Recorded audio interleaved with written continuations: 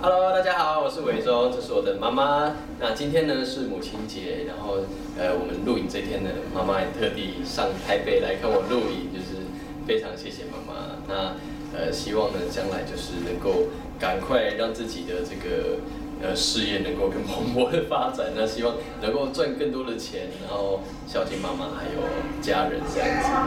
跟妈妈说一声母亲节快乐，辛苦了，我爱你。亲个嗯妈。